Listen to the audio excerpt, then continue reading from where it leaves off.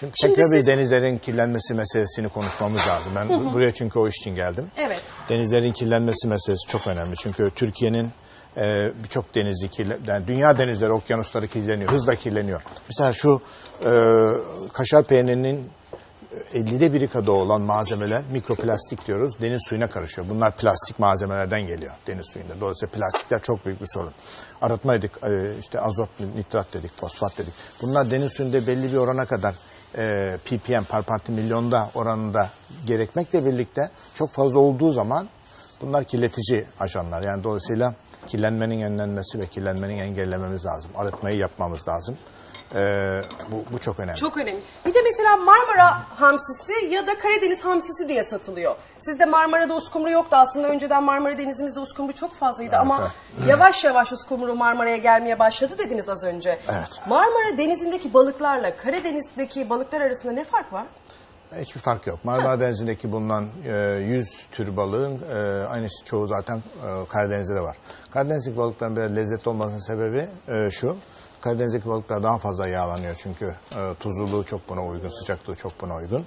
E, Marmara Denizi'ndeki balıklar, e, Marmara Denizi'nin yarısı küçük bir deniz ve bu küçük denizde kirlenme e, sitesi altında. Dolayısıyla e, Karadeniz'deki e, balıklar çok daha geniş bir alanda yayılabiliyor. Çok daha geniş bir anda bulunabiliyor. Marmara Denizi'ndeki balıkların e, yani dediğim gibi e, çok fazla kirletici etkisi altında var. Ama buradan şu çıkmaması lazım. Hani Marmara Denizi'nden balık yemeyin falan demiyoruz.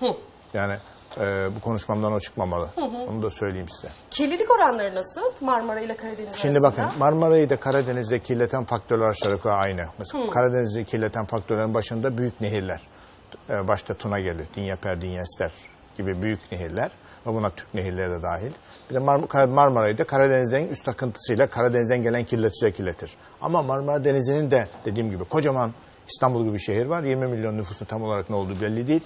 İzmit var, Bursa var, Balıkesir var, Çanakkale var, Tekirdağ var. Bütün bunlar Marmara Denizi'ne sahiline e, büyük bir nüfusu barındırıyor ve bu nüfus de, biraz önce söylediğim gibi arıtma meselesi var ve arıtmalarımız eksik bizim. Bunun için yatırım yapmamız lazım. Evet. Yatırım için paraya ihtiyacımız var. Böyle bir gerçek Ama var. her şeyi de devletten beklemeyelim. Biz de vatandaş olarak biraz üzerimize düşeni yapalım. Plastik dediniz. Ben geçen e, Kuzguncuk sahilinde oturuyorum mesela. Deniz kenarında plastik Ha. pet şişeler var. Atmışız, oturmuşuz, içmişiz orada atmışız. O poşetler mesela. Yani dünyanın, evrenin eritemediği madde maalesef ki plastik. Onun denizde ne işi var? İşte Onu şirketlerin mesela onları zaten geri alma zorunluluğu var ama yapmıyorlar. Yani şirketler bunları bize satarken bunları tekrar toplama zorunluluğu Mutlaka var. denize atmadı orada vatandaş. Belki kenara koydu ama rüzgardan gidebileceğini de bir düşünelim insanız değil mi? Evet. Şimdi şeyde e, Marmara Denizi ve diğer de- denizlerde başka bir sorun daha var. E, şeyler. e, petrol. Bu petrol daha çok böyle gemiler kaza yaptığı zaman görülür. Dolayısıyla petrol kö- kökenli kirlenme e, bu ara yok çünkü e, en son büyük kaza inşallah bundan sonra olmaz. Dok, e, e, dok şeyde e, 2004 yılında olmuştu Nasya kazası hatırlar mısınız bilmiyorum biz çok iyi hatırlarız. O zaman büyük bir alan İstanbul Boğazı'nda Marmara'da kirlenmişti. Dolayısıyla gemi kazaları da kirlenme için faktör ama bu dönemde en azından gemi kazaları yok. Bu sene vardı Alaçatı'da bir e, Ha, kaza bu- olmuştu. evet, o- Denize bir süre girememiştik biz bulunduğumuz koyda. Evet sizinki Ildır Körfezi'ndeki e, Orkinos teknesinin kirletici malzemesinden bahsediyorsun. Evet o konuda oraları çok açmak istemiyorum ben. O- e, geç kalındı o işlerde. İki tane kaza oldu geçen sene. Birisi Çeşme'de, birisi Ildır'da. Her iki kazada da geç davranıldı. E, şimdi neden geç davranıldığını konuşuyoruz acaba. Neden daha çabuk e, eyleme geçemedi, ne- neden daha çabuk hareket edilemedi diye konuşuyoruz. Yetkililer de E, bunun evet. için daha bir e, özverili olacaklardır zaten o konuda çok Evet, hassas. Me- ağır metaller e, bulundurduğu için mesela ben midye çok severim. Hani tatil dedik aklıma mesela midye geldi. Siz midye tavsiye ediyor musunuz? Çok fazla yiyoruz çünkü midyeyi. Ee, Ben midye tavsiye ediyorum ama e, yılda dört defa tavsiye, tavsiye ediyorum. Her akşam her gün yemenizi istemiyorum. Midye e, sık sık sorulan soru şu. Midye acaba ağır metal var mı? İşte civa, metil, merkürü, e, kadmiyum, selenyum, öteki ağır metaller var mı? Hepsi var. E, midye gibi canlılar istiridye örneğin midye, istiridye, tarak bunlar hareket etmeyen belli bir bölgede bulundukları için kirlenmiş olan bölgede ve doğal olarak e, kirletici malzemeyi çok çabuk alıyor. Dolayısıyla böyle bir sorun var. Ama yılda iki defa, üç defa mide yediğin zaman bir sorun olmayabilir. Dayarıya, ishal hariç. Hmm. Yani ağır metal değil o. O bakteri miktarının çok yüksek olmasından dolayıdır. E, midyeler için, e, istireler için söylüyorum ama ağır metal e, olarak çok e, yenmemesini tavsiye ederim. Çocuklara da yediriyorlar. Tabii, Çocuklar tabii. sevdiği için sahilde görüyorum. Mesela 30 tane midye yiyor bir çocuk. Onu çok doğru bulmuyoruz. E, midye ile ilgili e, minimata diye büyük bir hastalık vardı. Minimata hastalığını belki biliyorsunuz. E, Japonya'daydı 50'li yıllarda e, yüze aşkın insan öldü.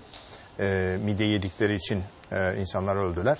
Çünkü e, bir e, araba lastiği fabrikası vardı midye çiftliğinin yanında ve lastik fabrikasından e, gelen e, şeyleri kimyasalların midyelere geçti ve midyelerden de insanlara geçti.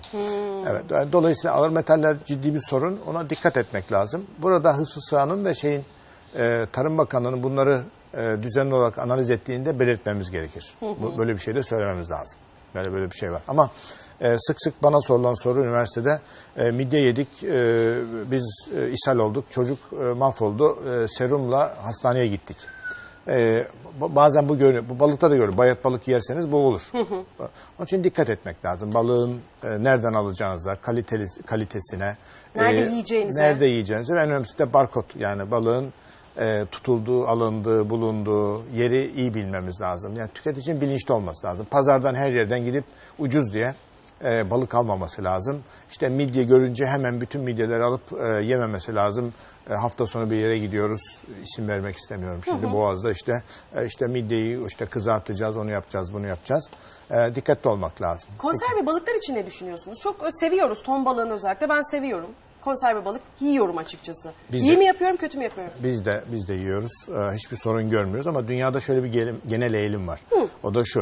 e, bu e, tatlandırıcı veyahut da koruyucu malzeme ile e, tutulan bütün su ürünlerinde ve sadece su ürünleri de değil.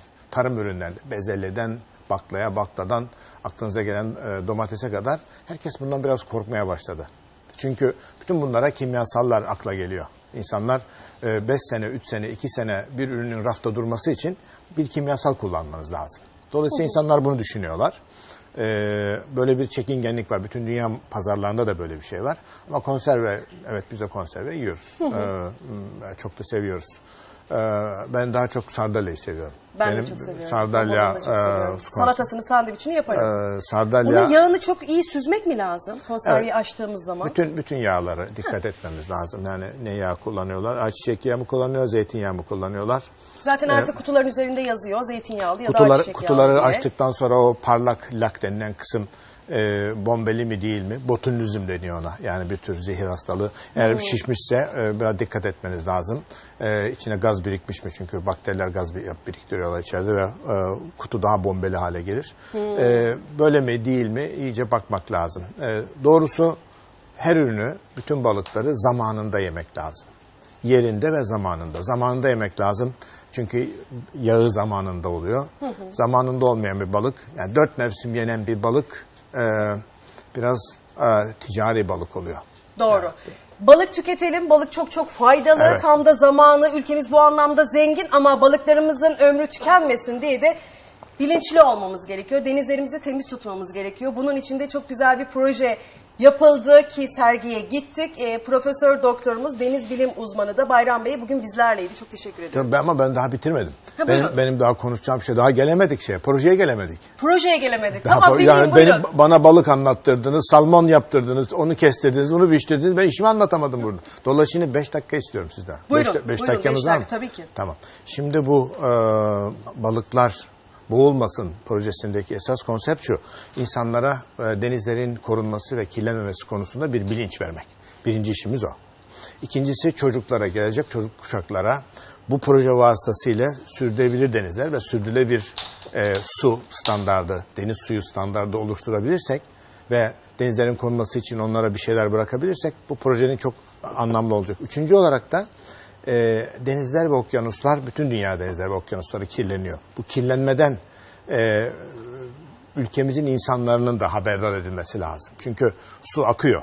Suyun, suyun pasaportu yok, suyun e, şahsiyeti yok. Su dünyanın her yerinden geliyor ve her yerinden geçiyor. Senin suyun, benim suyum e, kağıt üstünde olsa bile öyle bir su yok. Dolayısıyla denizlerin ve bölgenin, bölgesel denizlerin korunması için e, çaba sarf edeceğiz. Onun için ben bir projeyi çok anlamlı buluyoruz biz.